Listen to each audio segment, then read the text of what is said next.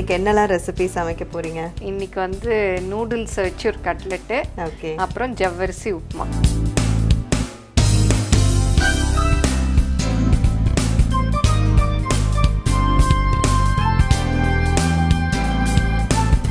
Super ma'am ருசிக்கலாம் வாங்க. இன்று மதியம் ஒரு மணிக்கு நமது புதுயுகத்தில்